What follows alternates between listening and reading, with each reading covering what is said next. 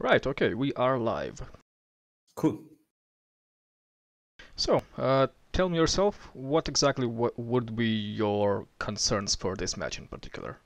The laning phase and stuff? Uh, yeah, fr- from the laning stage, my approach was to uh, not really just push, uh, like not really go for the Vortex build because I watched this Lil Pansy guy, uh, the good Storm player, and he mentioned that uh, against Puck he never really um, um here how do you say it? Uh, uses or skills Vortex in the beginning because he cannot really kill him. And if he says that, that I'm, then I'm sure like I'm not also not uh, able to. Uh, only if the puck is bad and yeah, this uh, I, I wanted to judge it from the lane phase.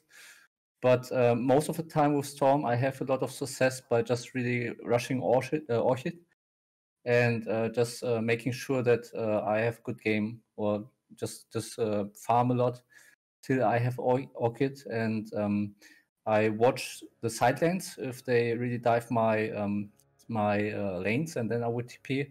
But mostly I'm just pushing the wave out as fast as I can with higher le- level on remnants. I stick the jungle, and then I yeah go for Orchid, and then I try to make plays. Depends. Like I'm, I I realize I'm just uh, yeah.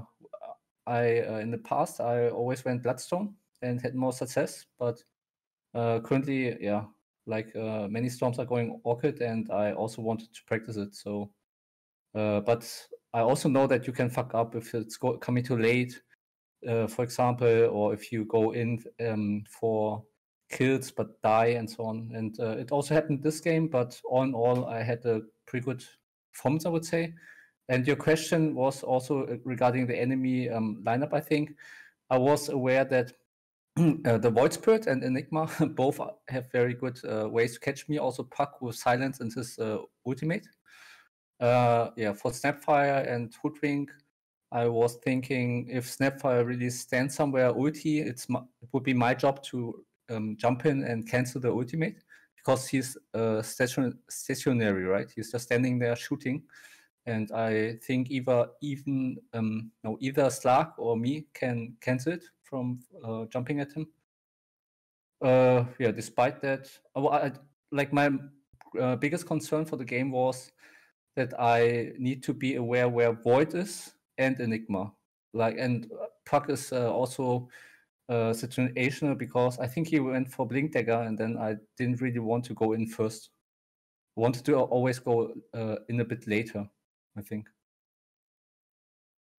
Right, right. Uh, let's tra- trace back a little, a few minutes back when you said that you will approach this lane as a farm lane Yeah. because because you because the guy said that Vortex here is not good. But did you understand yourself why is Vortex useless in this lane? Um, I would say because uh, Puck has a good escape mechanism, and uh, with uh, depending on how he skills um, he uh, does a skill build. If he really goes orb and um, the silence, uh, it's most likely that he will uh, hit and um, silence and um, do more damage to me than me to him. Uh, I do to him. I think. Yeah, it's it's basically if the enemy possesses a good escape mechanism and Vortex becomes unreliable, it is a liability to skill it. So Puck has that with Phase Shift, Ember does that with a Sleight of Fist, and there's Yeah. also Queen of Pain with the Blink, and I, uh, there's a few more heroes I'm not thinking of.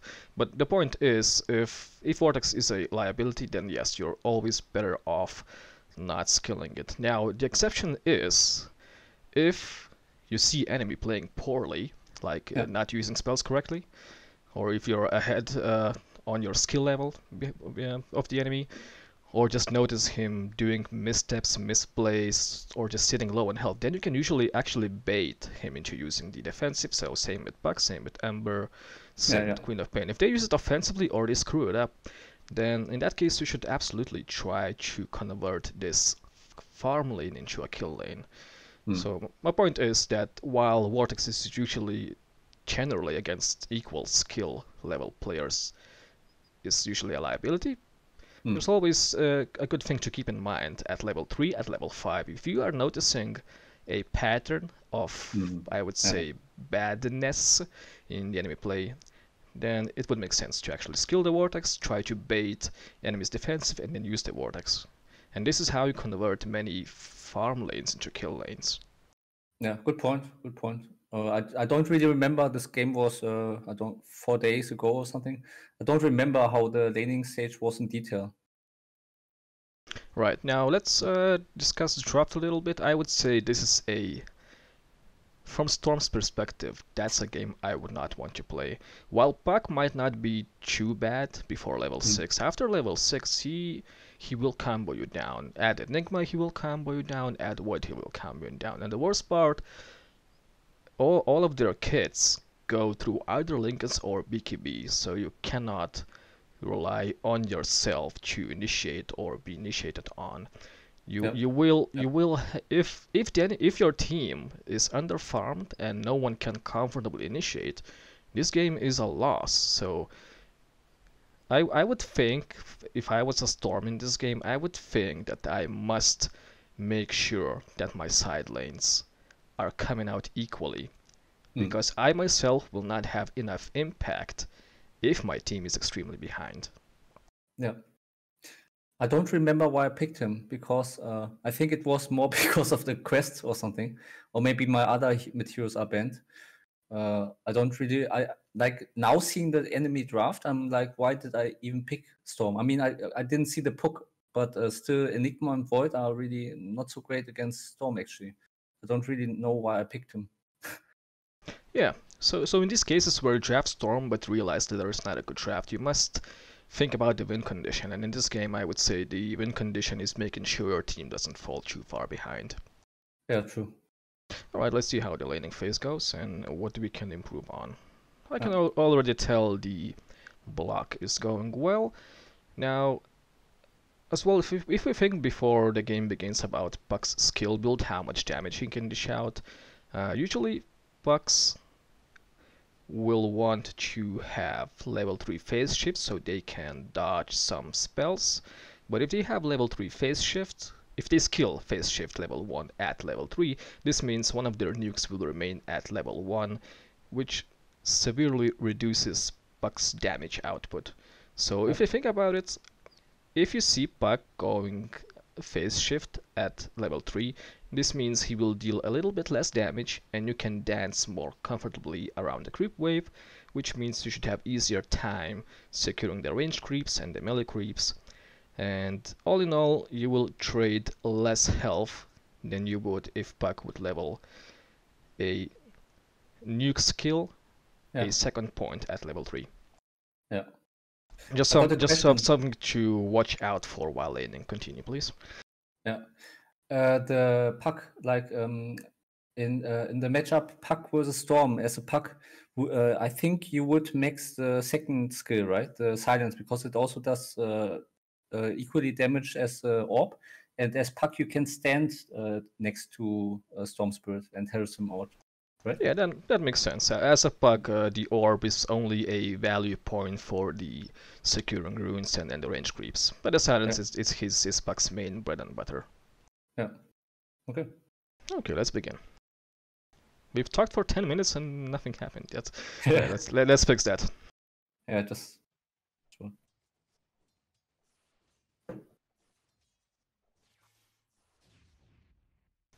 Well, I, am sure you could have seen that if Puck cared for it, he could have denied the range creep. Uh, yeah, because I hit it, uh, that it went in deny range. Yeah, if your plan is to get the range creep ASAP, you must not he hesitate. Like, as soon as you see those three creeps positioning to hit the range creep, that is your cue to walk over their ASAP and drop a remnant. Otherwise, you you are risking a deny. Luckily, Puck, Puck was a little bit mentally FK, so nothing bad happened. yeah, okay. Yeah, you're alright. You're right. I was late.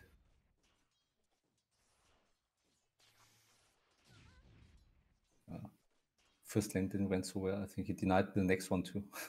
yeah, one another thing. If if you're set on killing the range creep first, this means you'll you have already decided that you will be pushing the lane. So your next job is to clear the rest of the creeps ASAP. So don't even bother hitting puck. Your job is to finish rest of the creeps ASAP, ideally with no denies. So again, Remnant will help here. And what happens then is Puck simply will not have time to harass you. He will have four creeps coming at him under his tower. You will be hmm. level two, and that's the perfect moment to throw in some harassment yourself without taking any damage. Yeah, that's true. Yes. I think I do it. I'm not sure. We can see that in a few seconds. Oh yeah. Well, well, right now what I've seen is you did hes- hesitate a little. yeah. Like we have a hit here to the puck.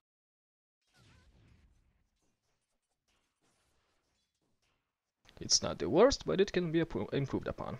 Yeah, yeah. I should have uh, like hit the creeps, focus more on farming the creeps. Yeah. Here I couldn't harass them because the wave was too deep into the tower. Yeah, that's fine.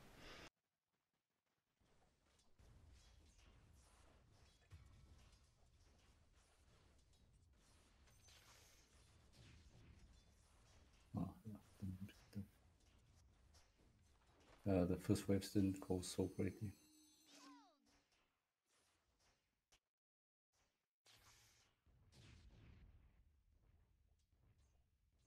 Other than that, so far so good. A little bit damage taken, but the bottle should be on the way. Yeah. I remember I TP'd back at minute three or something with the boots. Yeah. Okay, yeah, we'll see. Now the thing is, uh, you're really low on health here, Hmm. And if Puck would set his mind, he could actually kill you. yeah, he didn't do it.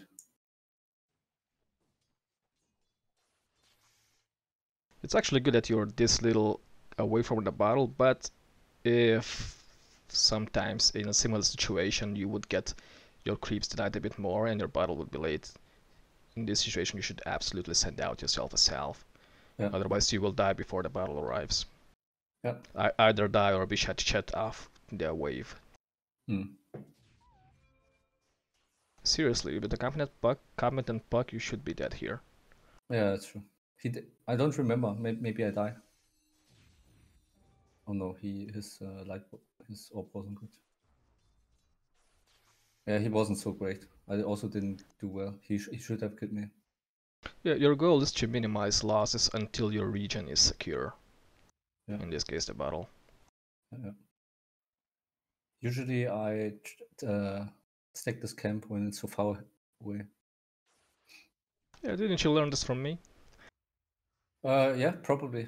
But I also uh, in the past when um, I played better, like some uh, weeks, a month ago, I always stacked um, stacked a bit more. Right now, I'm going back to that. We will also see uh, some stacking later, I think, of the bigger camps. Yeah, okay. Yeah.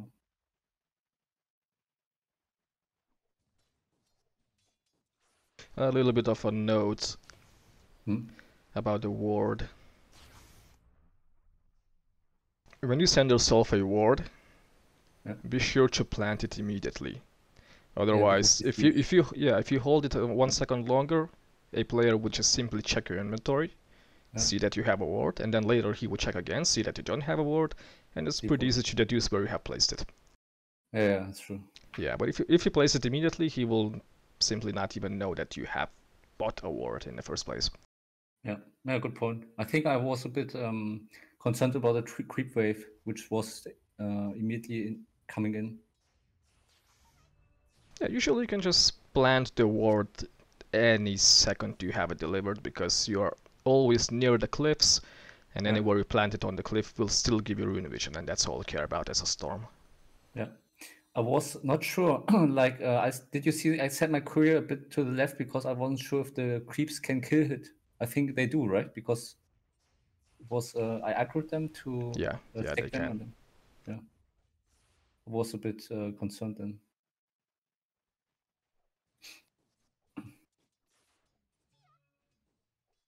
Oh, and and if you're not planning a kill lane, then absolutely remnant level choose the better option. Yeah, okay. I wasn't sure if uh, what is better for farming then.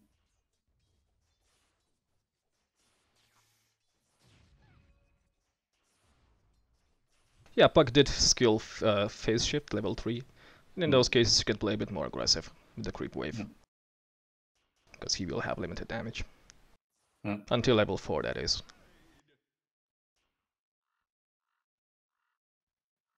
Yeah, that's a good time window for you to wave, wave clear the creeps and go back for the base, which I think you will have done it Yeah. later.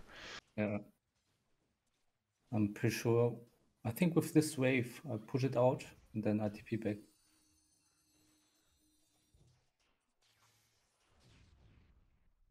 Yeah. With these kind of plays, every millisecond matters. So if you have set your mind on pushing out and teleporting back, just do it the exact frame Mm. the last creep dies. Because five seconds of you walking back and pressing the button can mean a difference of one and two creeps. Yeah, that's true. I was uh, before when I did it, I was think um, looking at the enemy draft more and thinking if somebody can cancel it. I, I knew that Puck couldn't, but uh, yeah, I just wanted to make sure that I don't fuck up the TP. You can also make an educated guess if an enemy three position four or five would stand there to cancel it. But but if you would look at the rune timer, it's it's way too early for anyone to hang around the middle. Yeah, yeah. And the last thing you can do is actually check the minimap and see that the Snapfire is on the bottom lane. Yeah, that's true. It happened once with Pudge. he hooked me. Oh yeah, Pudges you gotta be extra careful because they will Uh. want you earlier. Anyway, uh, the, the same point I said earlier that you must not waste any time extends to the fountain here. Hmm. Considering considering you have teleported with around 30% of your resources, as you can see, Mm. your job is to move back to lane ASAP, no lingering. If you right click the middle right now and spam bottle on the way, you will not lose any mana as you walk out. Yeah. So And mean- again, that's that's five seconds saved. Yeah, there's no reason for you to hang, do a, a, a, bit of circles in the fountain. Just as soon as you teleported back, walk out immediately, and spam Okay. bottle. Okay, okay. That will save you 10 seconds in the long run, and that's the difference between one, two, or three creeps. Yeah, that's good. He was slow. He should have pushed more. Yeah, the puck didn't realize the option he had. If he had pushed under the tower, you would have lost probably everything but the last range creep hit. Yeah. In this case, the play worked out. Yeah. That's why I don't usually recommend this play, because uh, in a- in higher at least MMRs, the players will recognize that you're gone, will understand what's happening, and will simply either hold the lane in place and deny the creeps, or push the creeps and deny the creeps. So you, if you try Yeah. to do the same play and you're not efficient with your mana, with your walking back, with teleporting back, you you will lose more than if you would have stayed on lane and, and, and sent some resources. Yeah. Good point. That's good that he did, wasn't good. The puck. The puck. Yeah, yeah, yeah, yeah. But yeah, against the heroes that can easily secure runes, the, the better play is actually to go to base to refill the bottle because there's Mm. always risk involved in catching the rune in those Yeah. cases. Anyway, laning phase is going pretty pretty well, all things considered. We did, we did have some minor adjustments we could have done, but other other, other than that, you're like uh, 85 90% of your laning capacity here. Yeah, that's good. Not too bad.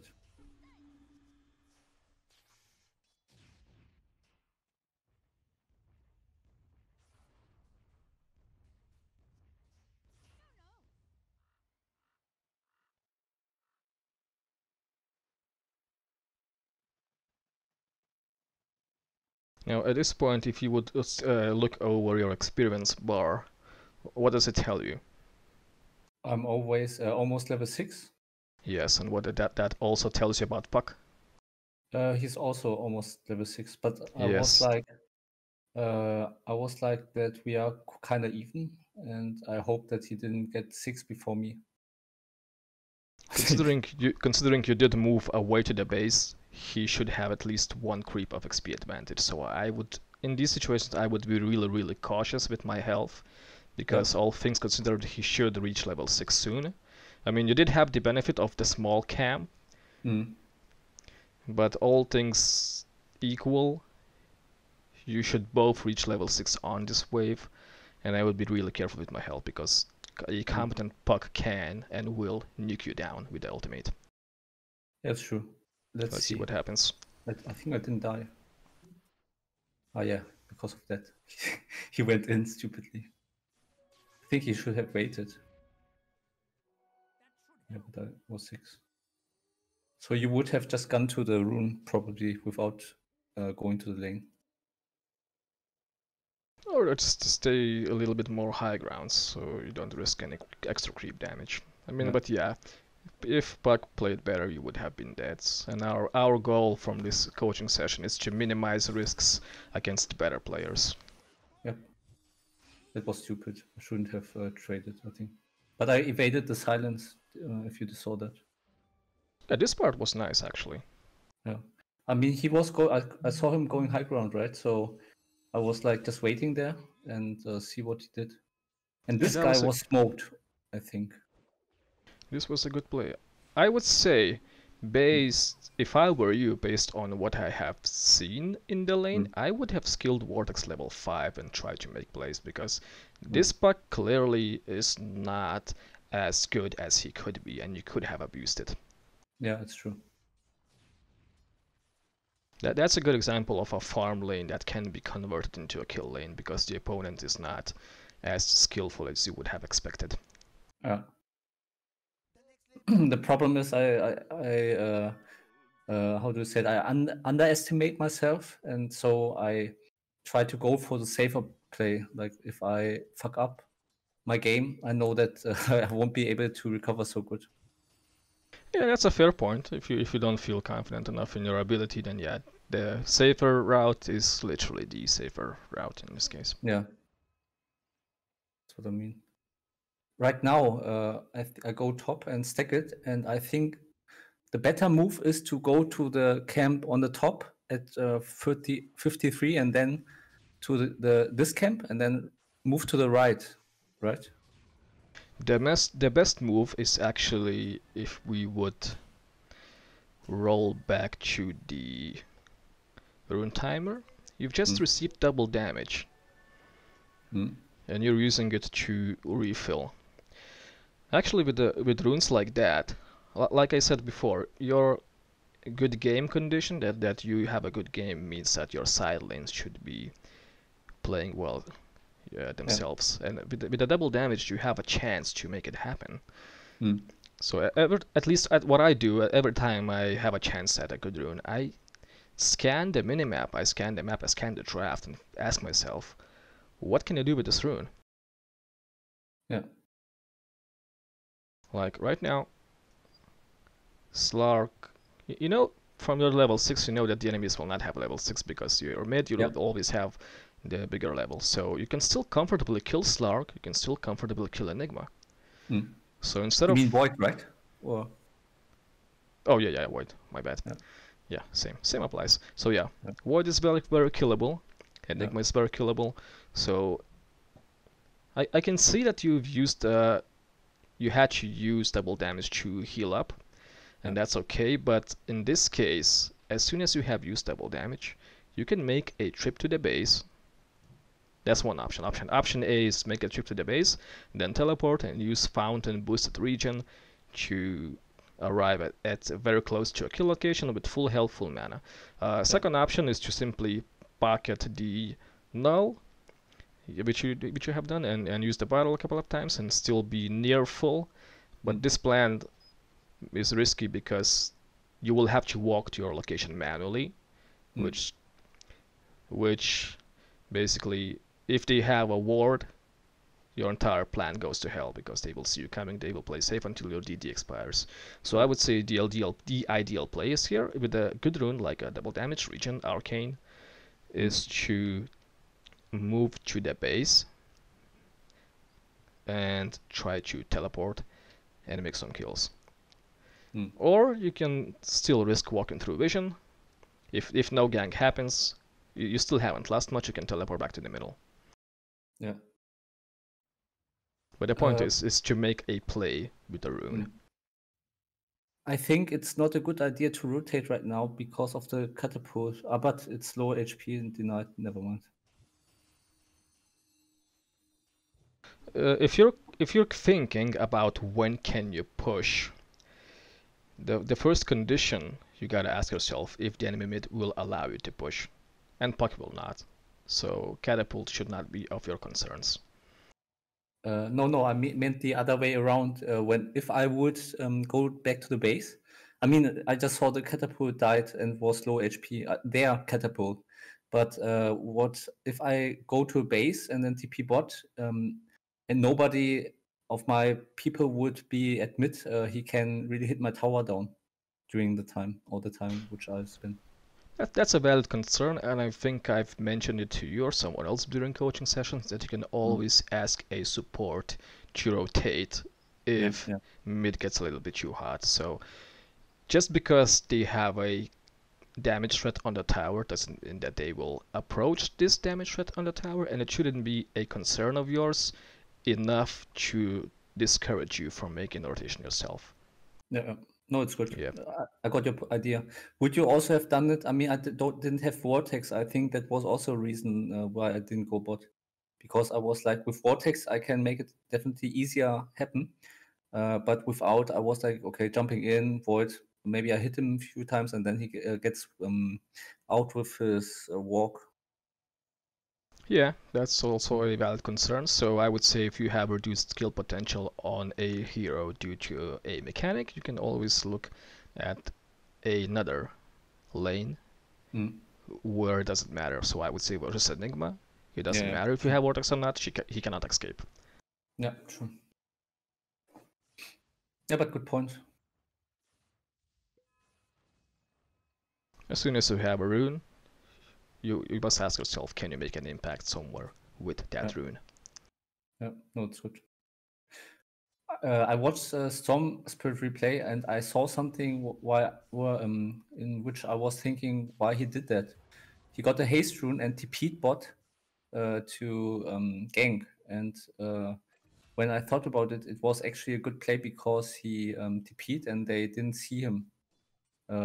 It was also what you mentioned, like if they if you run with the haste rune through the vision, they will just go back and uh, with the haste rune he can also run back mid very fast again Yeah, yeah, that makes that makes perfect sense.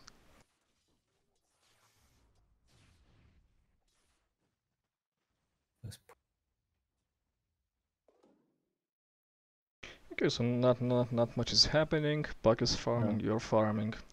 Again, Puck is not really. Oh wait, where's Puck? Oh, he's going back to Yeah. base. Respect face. I mean, I would expect it. to try to make plays with his ultimate, but he's playing very passively here. Yeah, no, no, he's uh, doing plays uh, on the uh, side lanes now. I think, if I remember, Oh, okay. like he's starting to do more than I did. Yeah, in that case, if you are if you're noticing Puck uh, doing stuff in the side lanes, you, now have two options. Either you rotate to the side lanes to counter initiate, or you you must exert pressure on the currently vacant mid tower. Even even if I saw Hoodwink uh, like roaming around the tower, you have you have kill potential on Hoodwink, or at least damage him enough for him to go away potential on the middle. So as as soon as you see an opening, that's where you decide either pressure the mid tower or rotate to the side lanes. The last thing you want to do is jungle. Yeah, that's true. Uh, right now, nothing happened, and I was waiting for the rune, the regen rune. Yeah, I was doing it because I was uh, not sure if they would destroy it before I arrived. Yeah, that, that's okay. I can approve this play, especially versus Puck, who can simply pinion plays. Yeah, I was watching, but I I couldn't help him. Three players. Another small note: if if you if you have a regen and you decide to jungle with it, the last thing you want to do is hit those creeps because they simply take too long, and your regen is not gonna Mm. be worth it. If you have regen, you just zip through all the big camps. Yeah, that's a good point. Not this golems, right? Because of the magic resistance. Yeah, think about it. I mean. Half of your regen is gone, and you're still do dealing with the golem camp instead of you could have Yeah. taken two both big big camps and that's like four times as much resources as you're getting from here. Okay. Yeah. Uh, do you really zip through them, or do you like use remnant and uh, zip? Uh, you zip near to the camp and then do your, your regular location and uh, rotation and then do it again Yeah. to the next camp. Because right now we got very little value out of that regen rune. That's true. Should have gone to the other camp, the right one, right? Yeah. Mm. Usually, if, if I'm not pressuring anything and I, I get a regen or arcane, I try to take ancients with it at earlier levels. Oh, really? Yeah, ancients did have reduced magic resistance, so they're easier to kill now. Yeah, fifty percent, right? No. Yeah. Yes. Okay. Uh, and one ancient camp is more than two big camps, right? Yeah, something like that. I don't don't recall the exact numbers. Yeah. I thought about TPing there, but it was too late.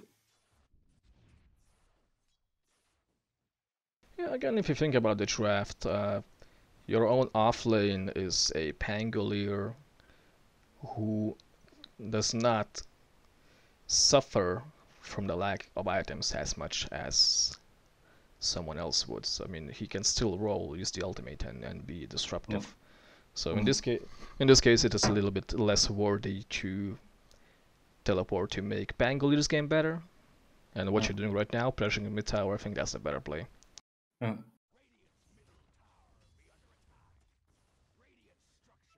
I think I saw Puck top or something. I'm not sure why I'm walking in so far. Oh no no I want Yeah. to- yeah. Another thing you should be thinking about is if, if you have seen Puck Hmm. in the bot lane, you must ask yourself how did he get there? Like if if there was a clash before, if your team were diving their tower, you can you can safely assume that Puck have teleported to Hmm. to to disrupt that dive. And in this case, this information tells you that Puck will now no, no longer have a teleport, and you can pretty freely farm the middle. But in those cases where you're not exactly certain how did the enemy hero that is of a threat to you got there, in that Mm. case you must play more cautiously, and these walks are not permitted. Yeah. I think what you said was what I was thinking. Uh, the Puck ganked the Pangolier bot- bottom, right?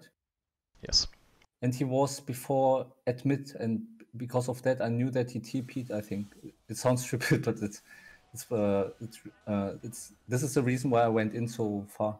I think because right now. I'm seeing it, and I'm like, why do I go there? Like if Puck is next to a tower, I would have died. As long as they're thinking about it, that's good. Yeah, no, no. I think that was the reason. Like, uh, otherwise, I wouldn't go there. Like, I could not explain now why I would have done that For any reasoning. Oh, you see it? Uh, this this is a ward from the enemy at my side, right? Didn't notice it. Yeah, yeah, it is. Uh, this was my first rotation, I think. Yeah. And I got. Didn't seem very much needed. Mm, Yeah. I wanted to make it sure. Like was uh, when I was watching, I was not sure if they can um, kill Void or uh, they are in danger. I mean, if if we scroll back to what I said, is that you gotta make sure your side lanes are coming out good. I would say your top lane, the Slark, is already very much, very much self-sufficient. And in that case, if Void cannot kill Slark, which we have saw is very difficult, then I would say rotating top to help kill when it's not needed is simply a waste of resources, and you would have done better map Mm. movement wise if you have continued to pressure mid. Yeah, might be, might have been. If there were four people top and they all rotated ch- with one singular uh, mission to kill Slark, in that case, yeah, I would say your, your rotation would have turned it around.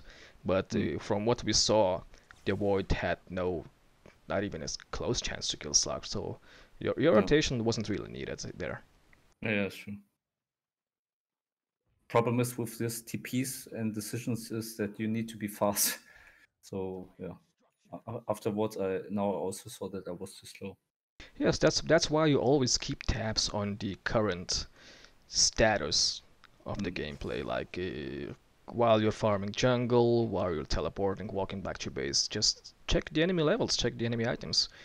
Yeah. You could easily deduce here that Slark is pretty much pretty fat and Void is not as fat as his Slark, which significantly reduces his skill potential. Yeah, it's true.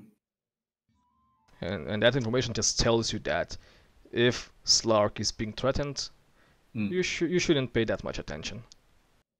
Yeah.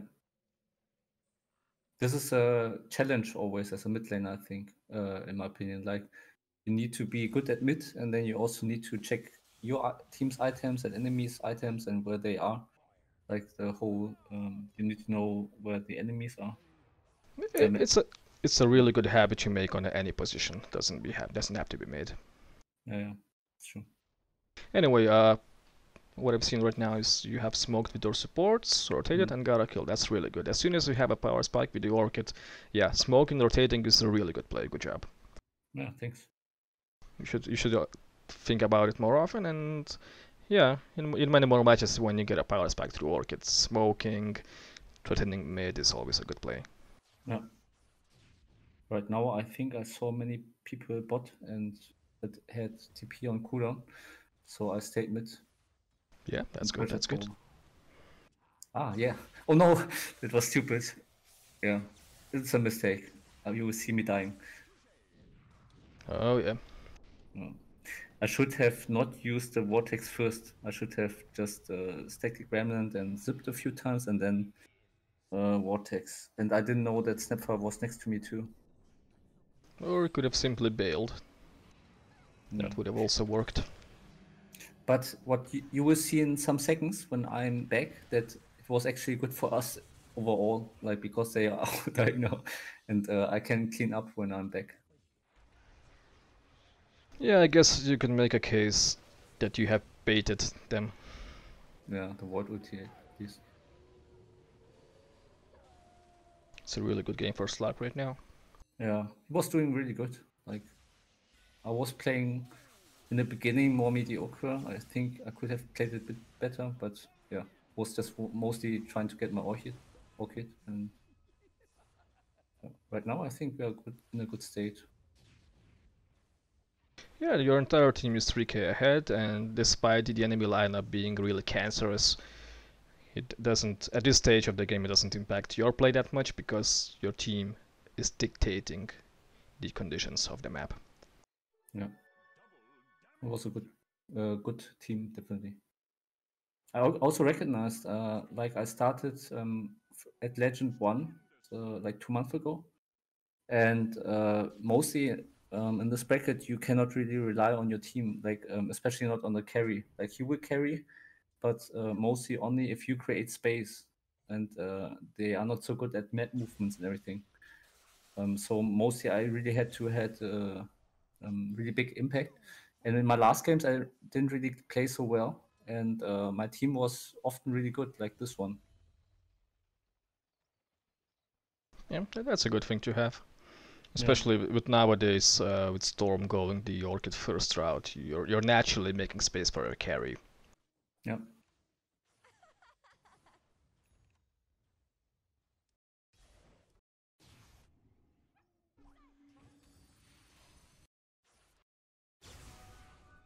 Okay, let's uh, get back into the map movement topic.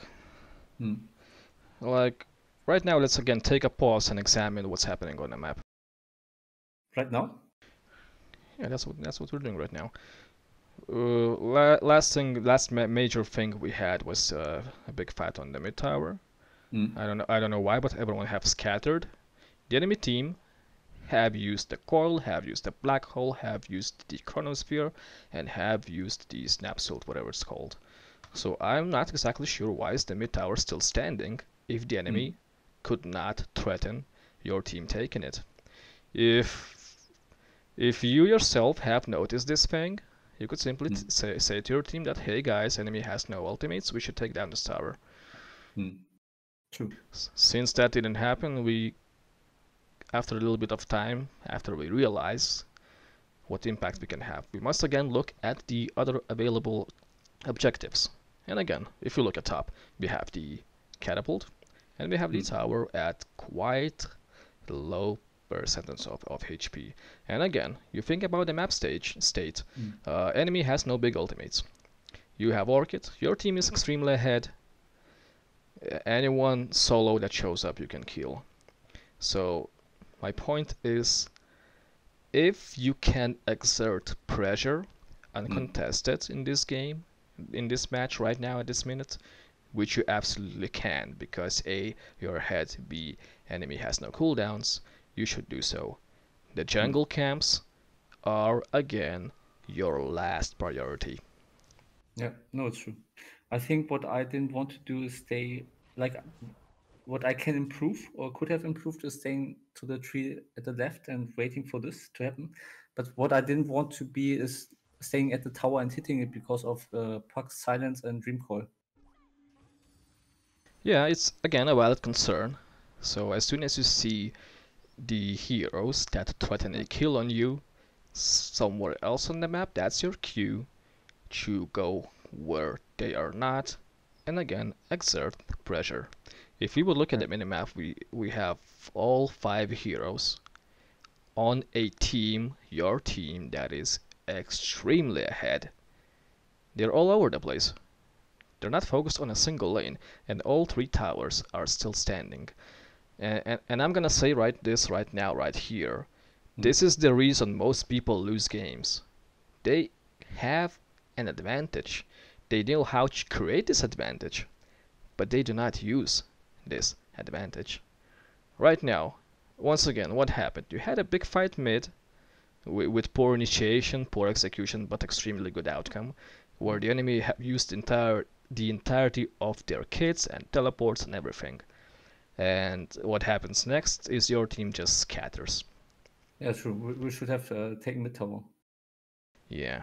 Yeah. So I can understand that the, that the your team might not be thinking about it, but as long as you're thinking about it, as long Mm. as you can actively say through the voice chat or the text chat that, hey guys, I think it is really safe to take this or that tower, I'm pretty sure your team would agree, because they're not stupid. If you point out you have no cooldowns, your team will be, hmm, yeah, yeah, that's true. Let's go, guys. If they Yeah. simply need need a, a an, uh, words of encouragement, then go ahead say it. Your, your job, if you're if you're seeing more than your team sees, your job is to make sure that the team knows your thoughts. Yeah, no, no, it's true. I, I think I didn't really see it. Yeah, I- I don't know how to elaborate on this topic, but that's a that's the biggest reason people lose games is they're they're not pushing to their advantage. Yeah, no, that's correct. So basically, what I, what I want you to do is to think about it more, and if you can notice it, you can you can tell that to your team. Yeah, I died you. Remember. Was hoping that the supports come faster, but the puck get out. I got out. Yeah. I should have stayed top to pressure the top tower a bit more. Yes, you should have. I mean, at this point, the enemy have had their cooldowns reset, and now the the advantage you had is a little bit gone. Yeah. What ideally what I would have liked to see happen is after that big mid fight before, five minutes before, you Yeah. would take the mid tower and you would take the top tower, and then you can regroup, then you can smoke, then you can get a few pickoffs, and do the same again. But what happened is your your team scattered, none of the objectives were taken, and now you have taken an unfavorable fight, which shouldn't have happened. In the first place, were your team uh, assertive enough after the first fight? Yeah, no, it's it's a, it's a good point. I should we should definitely have taken the mid tower, and then get more uh, wards up in the their region. Like if I watch your storm gameplay and I only focus on the storm bla- storm gameplay, Yeah. that's what you're doing is completely good. I have no big pointers to point out. The Yeah. problem in this game so far are the map movements, not the storm gameplay itself. Yeah.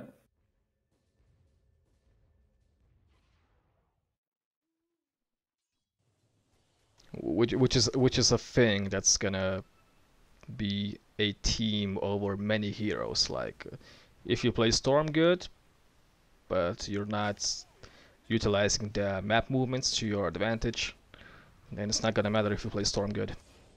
And the same with other heroes. If if you play other heroes not as good as Storm, but you know where to be, when to be, you will still gain MMR because you're boosting your map knowledge as better than than the enemy, the enemy team can. Yeah, no, no, that's correct. But uh, with Storm, I do different things than, for example, with Ember. With Ember, I'm standing more aggressively than with Storm. Yeah, and that's good. The things you will learn about map movements from one hero will easily translate to another hero. Yeah. And again, that was a good fight, and this this fight should tell you the same thing we have talked about before that the enemy has exhausted their big cooldowns. Actually, that's that's the thing I should have mentioned first. The the enemy is only as effective. This draft is only as effective as their big cooldowns are. Yeah. If they don't have big cooldowns, they don't have fighting capabilities. Your team, the only big cooldowns is uh, Pangolier's roll. Other than that, you're always ready to fight.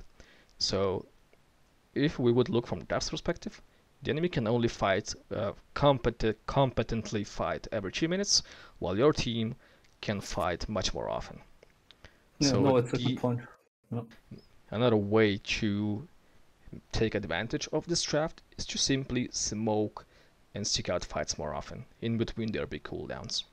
While they uh-huh. have better 5 versus 5, your team has better overall pressure. Yeah, no, it's a good point.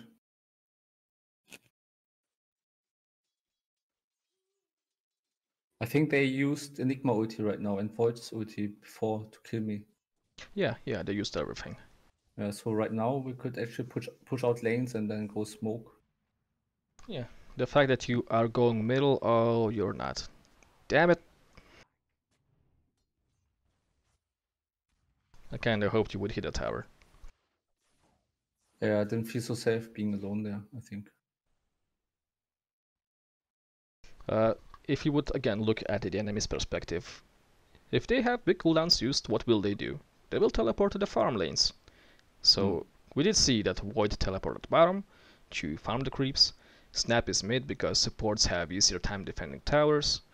So Enigma would also be either at the middle or at the top. You could still linger around in the middle. They have no big cooldowns. They have nothing to threaten you with.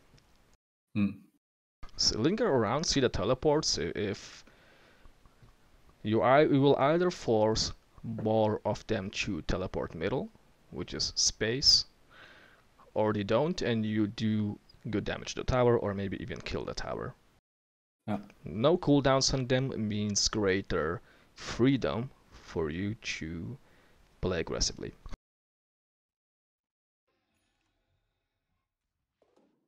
So yeah, for the third time, jungle is the last place you want to be. Your team is still ahead. The enemy team still doesn't have their big cooldowns, Hmm. and you have all the freedom you and your team to make plays. Yeah. Pango has the right idea.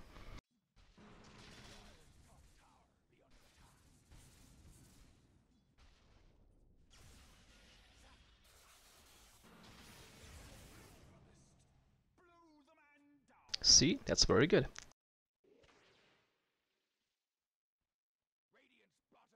And that's that's the thing you should uh, exercise more often. If if you if you know the enemy core hero is going to teleport to the farmland, you can already pre-place yourself on the Mm. path where he would come. Like I would think after the big cooldowns, like I said, the void will not want to fight.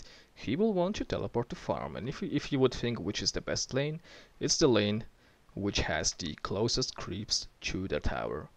So Yeah, if you decided not to pursue the mid tower route, then you Mm. could you could you could have walked way earlier and intercepted Void also way earlier because you were thinking about where Void would spawn, where Void would go, and since you you know that Void is very killable, you could have killed him like 30 seconds earlier than you did.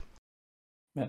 The problem is I didn't uh, like I was assuming they have a ward in the mid, and if I go directly from the mid position where I was to bottom lane, uh, I would have been seen. I think that's why I went this bigger road. Oh, so you actually did think about uh, taking Void out directly, Yes. yeah? Yeah, I mean, I, I- like um, my recent games, I'm mostly I mostly like to play around uh, like at dire side, at mid, at bottom, uh, and independent of the heroes. And uh, like when, I wanted to walk, like if the mid tower is not down, like right now, I'm just just assuming they have vision at the mid, and uh, I wanted to walk around them, like not directly. Yeah, okay, that makes sense. That makes sense. All good then.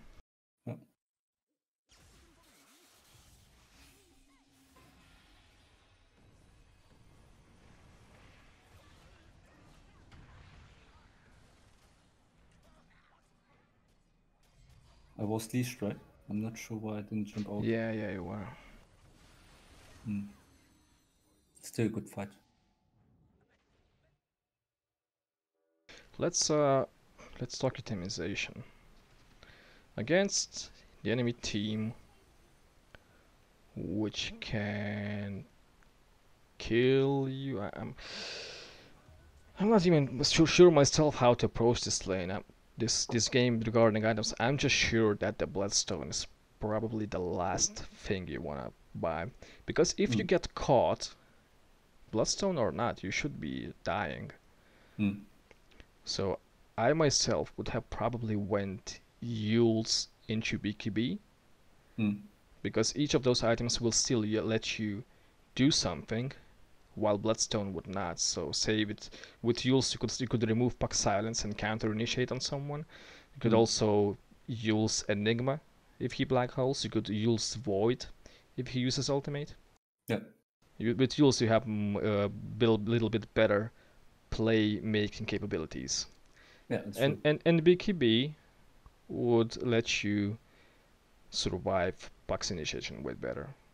Yeah. Again, we still have the issue of Void's ult and Enigma's ult, but at Yeah. least Eul's BKB still takes good care of at least Puck's part of of locking you down. Yeah. You can see it in the next seconds. My item choice will change in the next second because I was thinking, like I don't bought the this um, mask, but I was then um, swapping to BKB next Okay. because I had the same box. I- Uh, right, I don't know when I did it, but it was uh, like in in few minutes I would change it. I, I didn't go the Bloodstone. Yeah, cool. The bloodstone is only useful if you, if you if um, how do I say this? If the enemy does not have a good kill threat on you, then yeah, you can go a little bit greedier, go with bloodstone. But if the enemy has heavy lockdowns and stuff, then you should play defensives first. Yeah. I don't remember when, but I changed it and I didn't go the Bloodstone. Like right not not uh, like not right now. But there's a next now. Did you see Yep, it? yep, yep. There we go.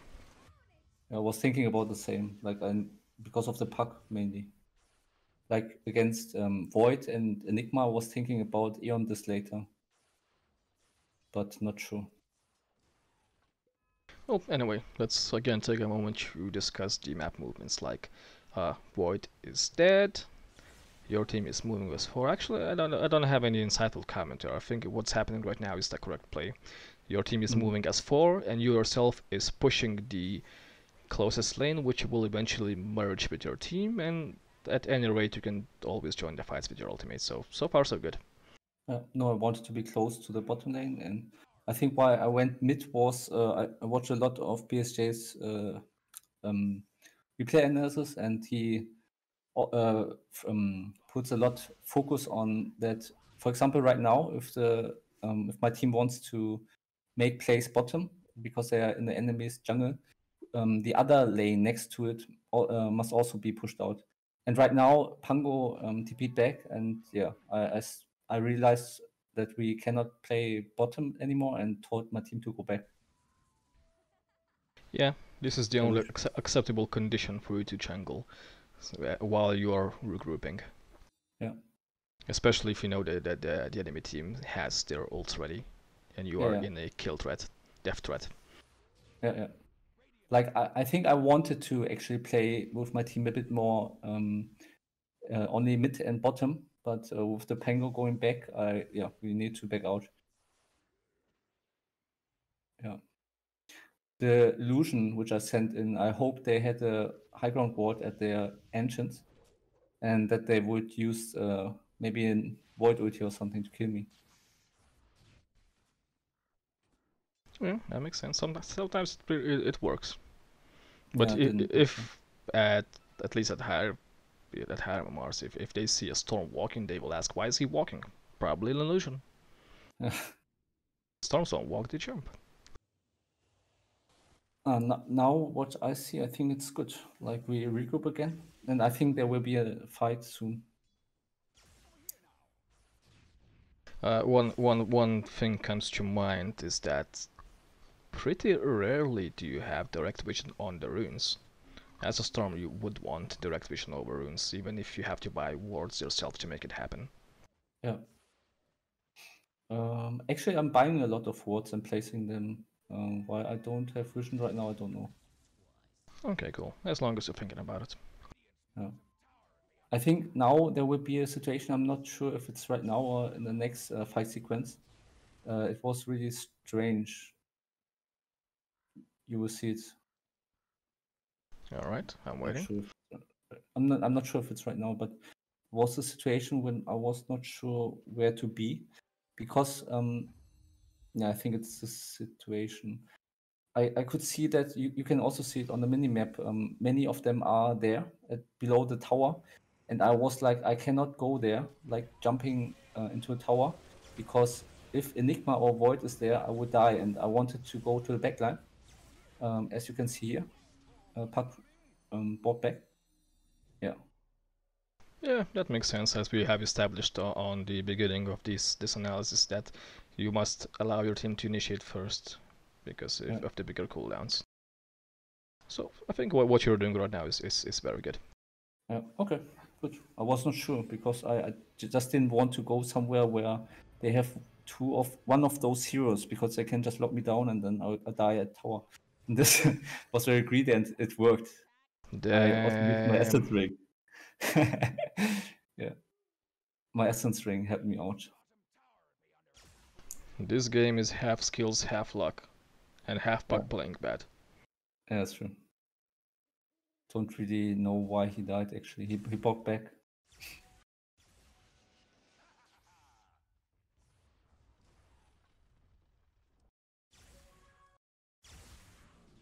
Do you remember anything in particular you were wondering about during the mid to late game for this replay? Yes, uh, the situation right now, uh, which you saw, I was I wanted to ask you what would have been the better play if you would have gone um, like I had two options, two big options, right? Either go with my team and dive the tower at the bottom, like going to the enemies and trying to find Void or Enigma, silence him, and then kill. But I felt not really um, comfortable about that because, as I said, if Enigma or Void is there and I cannot uh, silence both of them, they will maybe kill us or me. So I went to the backline, yeah, and you, you just said it's okay. So that's one of the bigger plays which I was unsure of. Yeah, um, yeah, yeah. Right now, out of all three cores, you're the most killable. And as the most killable core, you have the least priority of initiation. Yeah. yeah. Like if they eat Slark up, the Slark will always press R and, and live, Pango always presses R and live. You don't have this luxury. Right. Uh, yeah, and item choice, like you, you saw my item choice right now. Um, I went for Orchid and then the um, Kaya and then BKB, would you have gone BKB after directly after Orchid or or maybe I would I would I would say because we have this game where your team is very much ahead, you can Mm. itemize a little bit more greedily, Mm. and Euls would definitely give you better right click, better mana regen, and better offensive offensive capabilities. If you go, if you rush, if you rush BKB, you will be starved of damage, starved of mana, but the BKB will let you survive. Yeah. But in, in this case, even if you even if you go that route, your team will compensate for you because Mm. the team is ahead. So you can play a little bit more greedily to improve your own stats, if that makes sense. Yeah. So th- this choice is, was good, like with uh, the Kaya and then BKB Uh, I w- I wouldn't say it's ideal. It's still very good that you can that you can deny Puck's spell kit. Mm. But like I said, your team allows you to go even more greedily, Yeah. and Euls before BKB would improve your stats, your pick-off capabilities, your mana regen capabilities, and offensive capabilities through the uh, Euls is active. Yeah. So I, I myself would say that ideally the play would have been to go Orchid, Euls, and then BKB because your team is Mm. ahead and you have the space to do so. Okay. So no Kaya. Well, Kaya is still good, same as Euls, but it, it doesn't have the the active benefit. Yeah. No, it's good.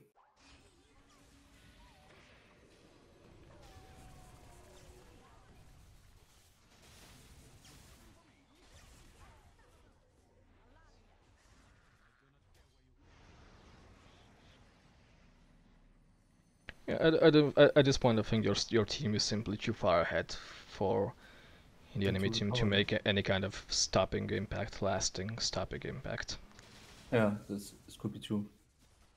Maybe we So- can um, make a bit faster the speed of the replay, or you can also stop it if you say that's just one. Yeah, if you think of any more questions for the late game, let me know. Otherwise, I, don't think we're getting anything more useful out of this.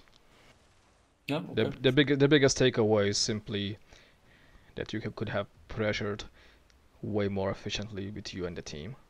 Yeah. I think I don't have really big uh, questions. Maybe right now um, we go for Rosh and I ask my Slug if I can get the Aegis because I want to go in. And uh, yeah, he I think he took it. No, no, I, I told him that he can take it. Uh, was another game or maybe later? I don't, don't really remember what happened. Like if we took another Rosh, Uh, I what I remember was that I had a quest for my Dota Plus challenge, and I need to dish out enough overload damage, and I went for the um, Aghanim shard for that, and also took the other talent. Yeah, but I failed. I had uh, two stars and not three stars. Yeah, I, I I have no comment on that. yeah, like I mean, I was pretty sure at this point. I think that we just were leading a lot, or um, we had a big, we were big ahead and could just win the game if we did don't do stupid things like no buyback and running into them, and they use the um, Enigma and Void Ulti. This is the only way they can come back to the enemies. Yeah, that makes sense.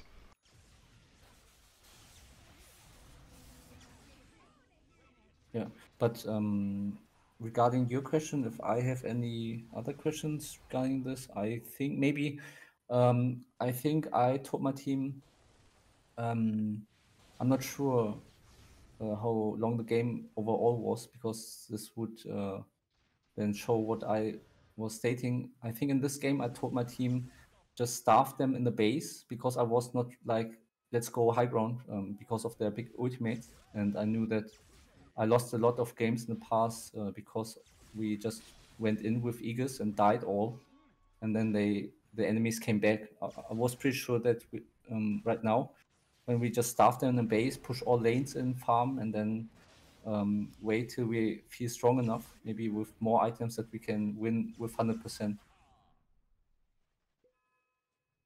Yeah, that's uh, in 90% of games, that's the winning strategy. It's a really good thing to choke out the enemy in their base Yeah. and get way overwhelmed. If- I would I would say the only uh, games where it's not the case is again when the enemy lineup is simply way better late game than yours. Like so, if you if, if you say you have a Slark Juggernaut versus their Terrorblade, you cannot let Terror Terrorblade get you fat, otherwise he will one shot everyone. Yeah, yeah. That, that's the prime example, but there, there are more cases where the enemy team is simply better suited late game, and if you Mm. choke them in the base for too long and cannot end, they they will simply get too fat to naturally repel any attacks. Other than that, yeah, I, your your line of thinking is absolutely correct. If if you if the if both teams are at equal, more or less equal power, choking them out is the safest route. Yeah. Okay.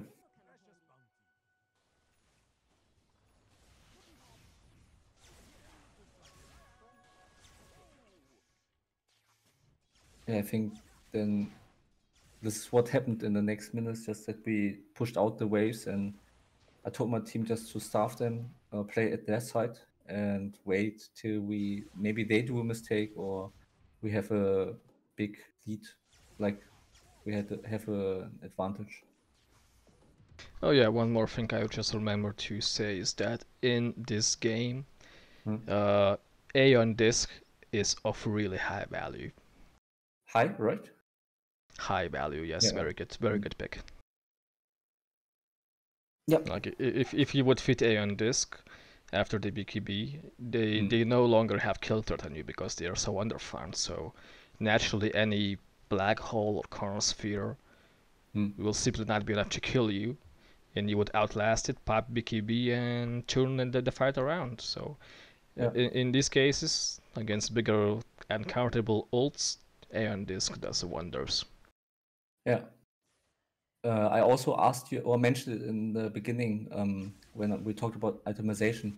Uh, I wasn't sure. Like, would you have gone uh, like um, after after the BKB the Aeon Disk, or would you have uh, like I did Bloodstone right now, and then uh, I'm was thinking about Aeon Disk. I think. Uh, are you asking when to get the Aeon Disk? Yeah. Would you have um, gone it after directly after BKB, or because you saw me finishing the Bloodstone right now? Uh, let, let, let's think about it. If you use if if you have Bloodstone and Aeon Disk and they lock you down, what happens is that after the Chronosphere or or the black hole is over, they can still apply a silence to you, or a stun, Mm. or whatever any follow up and kill you. BKB is the only condition where they cannot do that. Yeah. So you you you still need to have survivability after Aeon Disk, and after you outlive the big bad ult. So I would say in this case BKB is absolutely necessity for the absolute necessity for Aeon Disk to work in the first place. Yeah, yeah. No, no. I mean, uh, I um, I went BKB and then Bloodstone. Would you have gone um, the Aeon Disk after the BKB, which I had, or uh, like what I did now? Yeah, after the BKB would make more sense, but in this game it's it's not a clear-cut answer because because the enemy team is so behind. Mm. But in, in the same scenario where the teams were more equal, uh, Aeon Disk would have been of more value than Bloodstone. Yeah.